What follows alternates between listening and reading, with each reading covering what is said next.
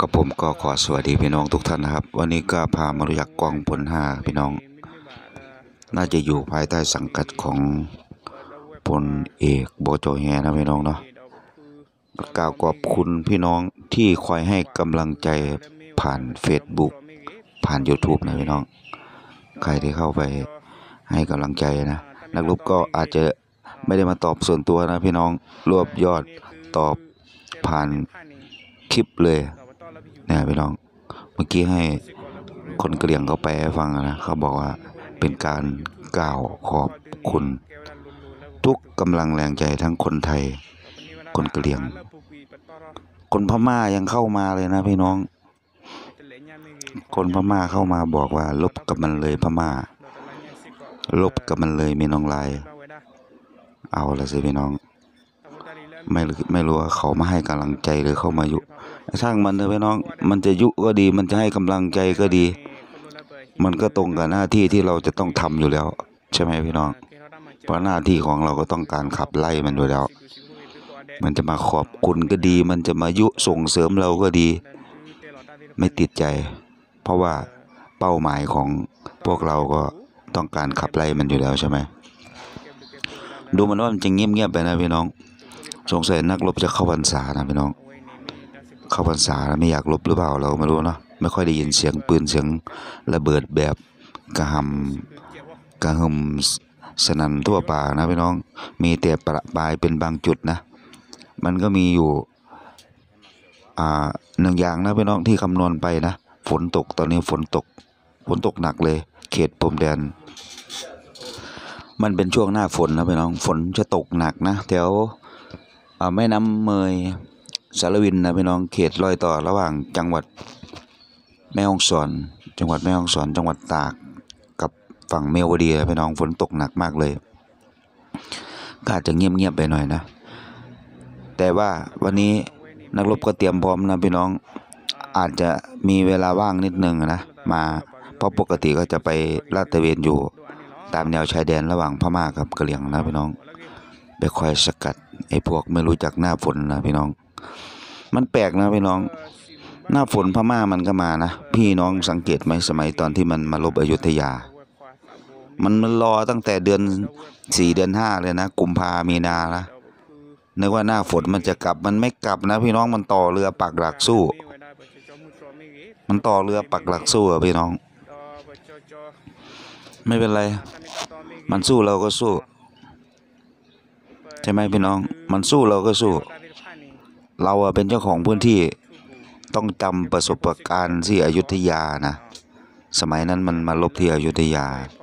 ฝนตกมันก็ไม่กลับ น้ำหลากมันก็ไม่ไป แสดงว่าแผนชั่วร้ายมันกำลังออกฤทธิ์พี่น้องก็เรียนก็ต้องจำนะจำดูประสบการณ์ที่ผ่านมานะที่เกิดขึ้นกับประเทศไทยอะเห็นไหมเขามาลบอยุธยาเอออยุธยาแพ้เห็นไหม ไม่ได้มาตอกย้ำความเจ็บปวดนะ เพียงแต่จะบอกว่าประสบการณ์มันเป็นแบบนี้หน้าฝนมันก็ไม่หยุด อดีตที่ผ่านมาหน้าฝนมันก็ไม่หยุด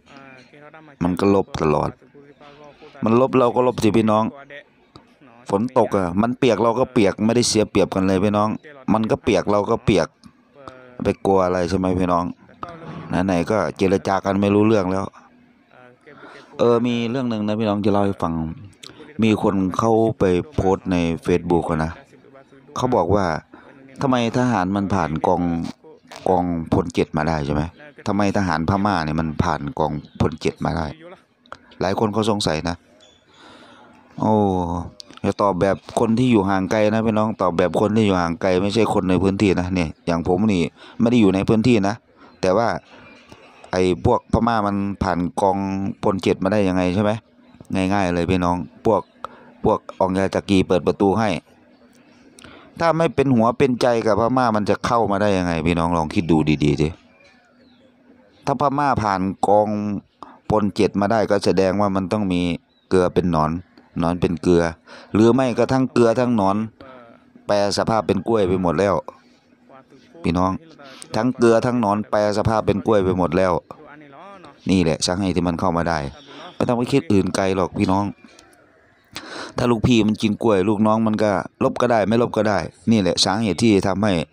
เสียเมืองก็ไอ้พวกนี้แหละไอ้พวกกินกล้วยนี่แหละไอ้พวกเกลือกับนอนนอนกับเกลือแปลสภาพเป็นกล้วยนี่แหละลบก็ได้ ไม่ลบก็ได้นี่แหละ ถ้าลบก็ได้ไม่ลบก็ได้ มันก็ต้องผ่านเข้ามาได้ที่กองกองกองพลเจ็ดนะพี่น้องสาเหตุที่มันผ่านมาได้มันมองออกง่ายๆแค่นี้พี่น้อง มันไม่ได้ลบมันไม่ได้ต้าน มันต้องปล่อยให้พม่าเข้ามา กองพลหนึ่งสองสามห้าได้พี่น้องมองกันแบบง่าย ๆ เลยนะ เออถ้ามันลบจริง ๆอะมันจะผ่านกองพลเจ็ดมาได้ยังไง พี่น้องลองคิดดูดีๆดิก็มันไม่ได้ลบไงมันเปิดประตูไงมีคนเขาสงสัยเนาะก็ให้ดูภาพนี้เขาบอกว่าไปรัสเซียกลับมานะพี่น้องไปซื้อเรือมาจากรัสเซียนะฝนตกน้ำท่วมก็ได้เรือแบบนี้แหละมาช่วยเอ้ยอะไรก็วุ่นวายไปหมดนะพี่น้อง ตาไม่ดีหรือยังไง มองไม่ออกหรืออันไหนมันเป็นเรือที่ทันสมัยใช่ไหมพี่น้องดูไปดูมาไม่ใช่เรือนะพี่น้อง มันก็อย่างที่พี่น้องเห็นแหละแต่คนแถวๆที่ถูกน้ำท่วมเขาสงสัยนะว่า เอ้ยไปรัสเซียกลับมาถึงทำไมถึงไปเจรจาซื้อข้าวซื้อของจากรัสเซียได้แบบนี้มาเหรอเขาสงสัยใช่ไหมพี่น้อง ก็นำมาให้ดู พี่น้องก็พิจารณาว่ามันคืออะไร เดี๋ยวให้ดูชัดๆนะพี่น้อง พี่น้องก็ดูดีๆดีว่า เอ้ยรัสเซียหลอกขายหรือเปล่า หรือสายตาไม่ดี ซื้อไปเดินเห็นชมดูอาวุธดูอะไรเยอะแยะไปหมดเลย ไม่ได้ไปดูเรือรัสเซียเขามีแต่เรือดีๆนะเอ้ยอะไรก็ไม่รู้นะพี่น้องเนาะ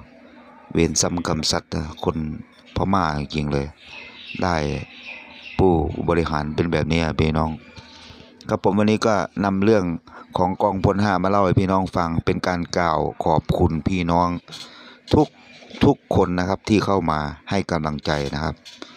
มีคนพม่าด้วยเข้ามาสำหรับคลิปนี้ก็สั้นๆประมาณนี้นะครับ สวัสดีครับ